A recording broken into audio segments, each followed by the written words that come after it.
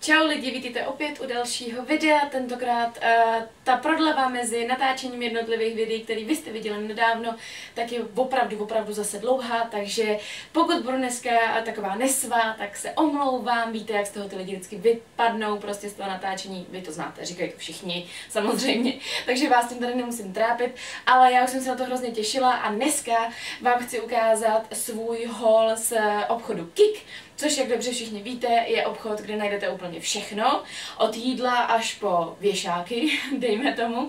A chci, aby z tohohle videa bylo jasný, že všechny tyhle produkty, které vám tady dneska ukážu, vlastně věci, nemusíme tomu říkat produkty, prostě věci, které vám to dneska ukážu, mám v rámci spolupráce, eh, kterou už s Kikem nějakou dobu máme, byly i na našem druhém Celebrity Bazaru, já jsem za to hrozně ráda.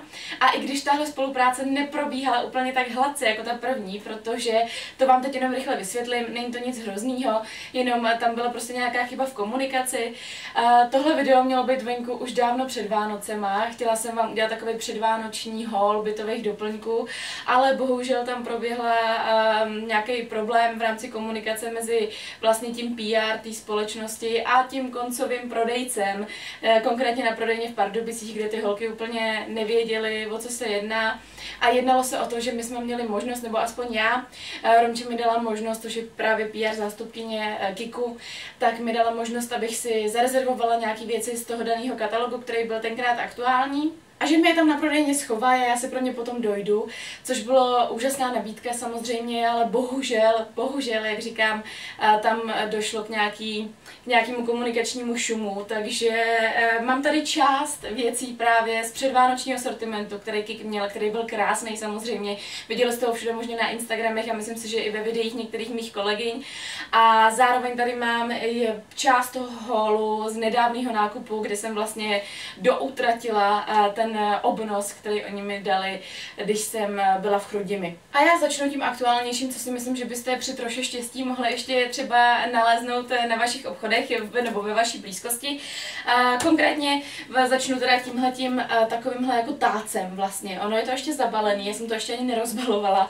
A tohle já jsem teda pořídila ve slevě za 79 korun, nebo stálo to 79 korun, jak jsem říkala, já jsem měla poukázky z Kiku, takže to bylo v rámci spolupráce. No a je to takový takovýhle dřevěný tác s bílým vlastně podstavcem, to je blbost, ježiš, s bílým dnem a má to v sobě ještě takovouhle šedou městičku ve tvaru čtverce. A já ne, že bych s tím měla nějaký velký plány, ale pořídila jsem si to díky focení a díky různým produktovým záběrům, který můžete vidět v mých videích, protože já mám v pokočku koberec, ona vypadá úplně jako dobře na tom takže se snažím využívat různý takovýhle právě uh, pičičárničky z Kiku, už jste to mohli vidět xkrát na mém Instagramu, nebo právě ve videích, eh, kde vám ukazuju na takovýchhle nějakých podobných věcech uh, různý kosmetické produkty.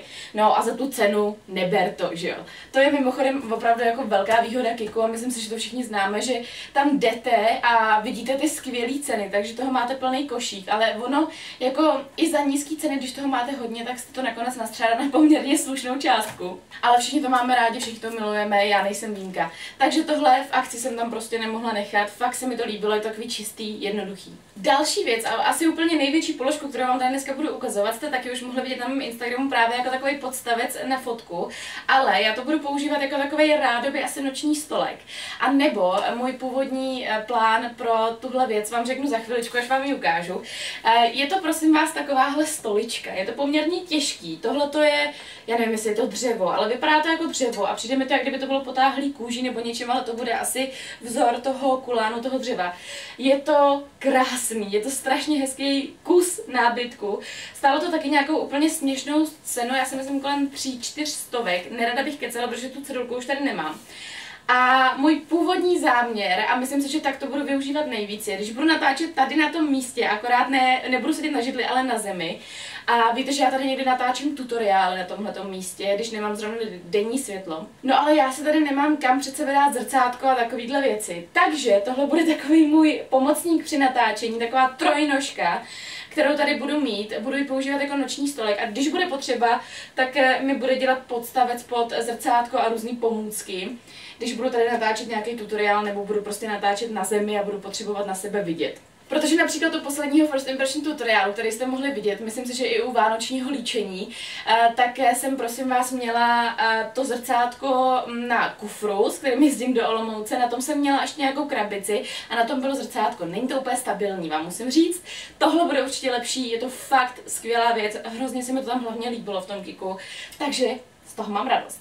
A ten den, co jsem tam mimochodem v těch rodině byla, tak tam měli těchto těch věcí strašně moc. Měli tam i takovou hezkou jako ne, nikdo mi nevolejte, já točím.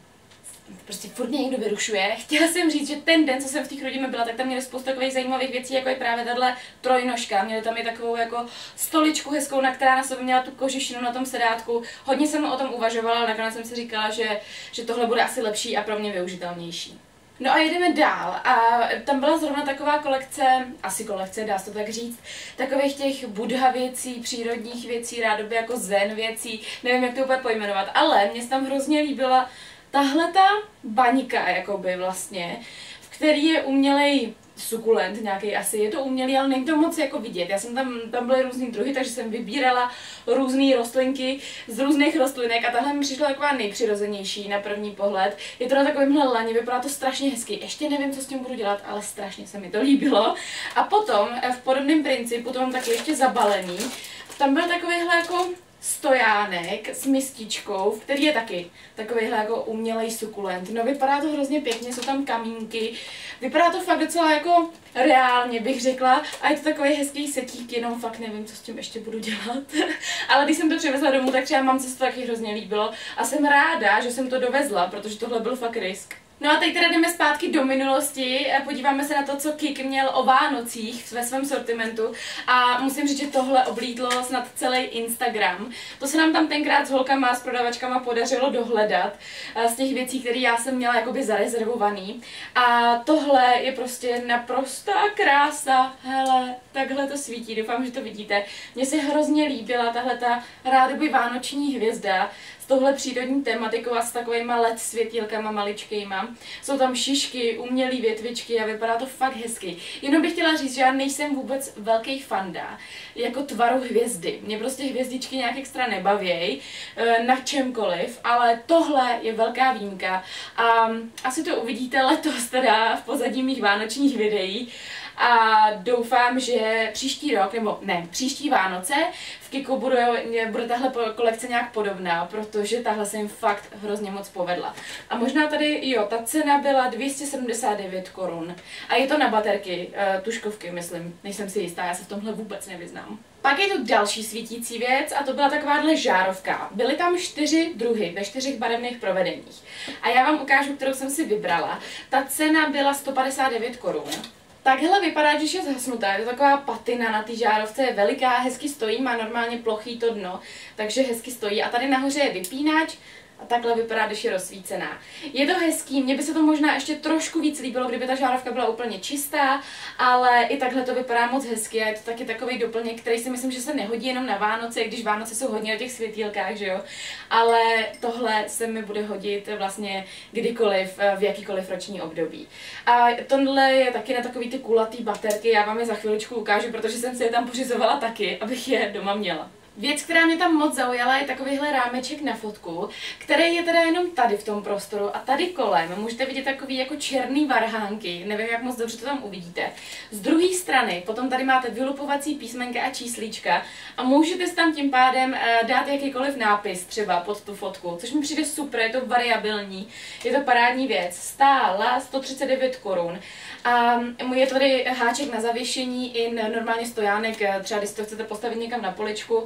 Ta fotka je na 15 eh, na 10 cm a to mi přišlo takový jako milý, hezký, fajn. Mám s tímhle rámečkem nějaký plány, takže ho asi úplně neuvidíte u mě doma, ale, ale něco s tím vymyslím, bude to asi nějaká forma dárečku. Pak je to takováhle věc, to byla mísa, taková jakoby rádoby mísa z těchto těch trojuhelníčků, nevím, jak moc dobře ji vidíte, je ve zlatý barvě, je poměrně veliká, jak můžete vidět. Ta byla taky z té vánoční kolekce, jestli tak tomu můžeme říkat, stála 105 korun, myslím si, že ji měli Ještě možná v černé variantě, a jestli ji měli, to si už fakt nejsem jistá, tak jsem si ji měla vzít v té černé, protože ta zlatá je taková hodně dožlutá, hodně zářivá. A já jsem ten den už toho měla celkem jako dost po tom dlouhém eh, řešení a ještě k tomu jsem tam měla vlastně rovnou, myslím si, z Olomouce nebo od někuď, eh, takže to bylo všechno takový komplikovaný. Ale tohle je věc, která je jako hezká, jenom si myslím, že já ji teď aktuálně u sebe v pokoji na nějak nevyužiju, nemám tady na to tolik prostoru. Možná se bude líbit mamce, tak když se bude líbit mamce, tak eh, ji dám mamině a jinak si ji zachovám třeba nebo si ji odvezu do Olomouce nebo do nějakého budoucího bydlení, uvidíme. No a potom nezbytná nutnost, eh, vždycky si tam kupuju, když si kupuju nějaký takovýhle svítící věci, právě baterky, ať už tyhle ty klasický, a nebo tyhle ty kulatý. Je super, že to v tom kiku tam je přímo u pokladen, takže vám tam s tím vždycky poradí a tak dále, to je strašně fajn. No a tím je to vlastně pro dnešek všechno. Panečku, tohle bylo na mě až nějak moc rychlý, nemyslíte si? Já si to myslím. u čeho jsem věděla ceny, tak jsem se vám snažila říkat. Uh, jestli jsem někde zapomněla, tak se omlouvám, ale všichni zhruba tak nějak víme. Jestli ten, uh, do toho kiku čas od času jdete, tak víte, jak se tam ty ceny zhruba pohybují. Je to levný, je to fajn, dá se tam najít spoustu zajímavých věcí, je super, jak to prostě pravidelně obměňují, takže tam po každý najdete něco jiného, i když chápu, že pro ty, kteří by chtěli si něco pořídit třeba víckrát nebo za delší dobu, takže už jsou ty věci potom nedostupné. Já mám Kik ráda, Kik, tahle ta spolupráce vlastně s Kikem mě donutila po dlouhé době si zase se začít kupovat tyhle ty bytové doplňky, protože já jsem si na ně dala takovou jako trošku stopku před nějakým časem, protože uh, já nejsem ten člověk, který by měl krabice různých dekorací, uh, protože pak mě to stejně jako moc tady nebere obměňovat a tak, ale jinak si myslím, že se v tom jednou vyžívat asi budu. Mám to jako v sobě, ale aktuálně můj pokoj je spíš takový jako skladiště a natáčecí studio, dejme tomu, a kosmetický koutek samozřejmě. Takže, takže tady na to není takový prostor, jak bych si představovala. Ale uh, Kik, mě, díky téhle spolupráci jsem se k tomu zase jako ráda dostala a hlavně, hlavně musím říct, že se tam fakt dají sehnat, pokud třeba rádi fotíte fotky na Instagram, uh, tak uh, se tam dají sehnat věci, které jsou hezký, tak jako zakomponovat do těch fotek, nebo je použít právě jako pozadí těch fotek, a nebo nějaký různý takový doplňky a pečičárničky, které tam vypadají dobře. No. Takže pokud se tenhle typ člověka, který si žije na sociálních sítích a baví ho to, tak si myslím, že pro vás by to bylo super a hlavně je to prostě všechno za pár korun. Takže já bych chtěla moc poděkovat za tuhle úžasnou spolupráci. Doufám, že jsem vás trošku se inspirovala tím a ukázala vám, co by se mi jako tak jako líbí zhruba a po čem, po čem jako moje oči vždycky tak jako zabloudí a, a co, co mě baví. Takže uh, mi dejte určitě vědět, jestli do Kiku chodíte vy, uh, co vás tam vždycky nejvíc táhne nebo po čem tam nejvíc vždycky jdete a já se budu těšit nějakého dalšího videa, třeba zase za nedlouho z Kiku, že se uvidíme spolu tady na mém YouTube kanále. Klidně klikněte dole na odběr, vůbec se toho nebojte. tak jo, mějte se moc hezky a uvidíme se příště. Ciao.